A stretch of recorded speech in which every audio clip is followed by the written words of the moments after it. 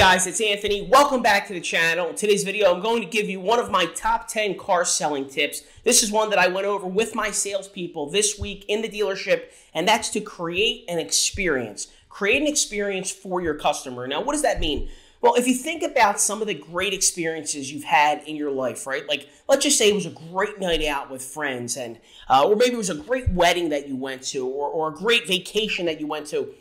Sometimes it's hard to quantify exactly what was great about the experience because it, it kind of all blends together. There, there was all of these different things, all of these different feelings that you had throughout the experience that it just feels in your gut and in your memory like, wow, that was great. And as time goes on, the the remembrance of actually saying that it was a great experience when telling people about it is what lasts longer than the actual feeling of the experience. That wears off.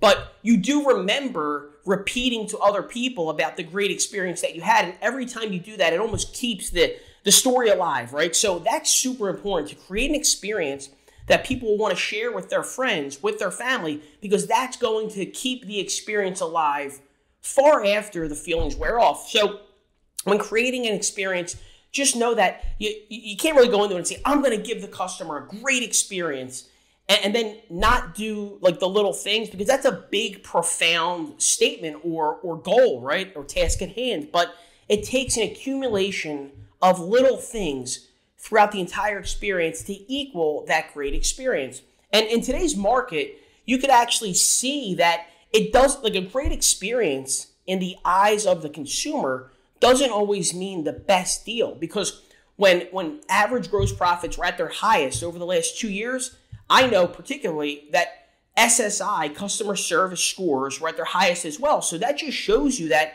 customers can perceive an experience as being great and it has nothing to do with the amount of money they pay for the car. So it does a great experience isn't the best deal, and customers are never going to tell their friends. You know, they may even say, "Oh my God, I got a great deal. So and so hooked me up, and it was a profitable deal on the dealership's end."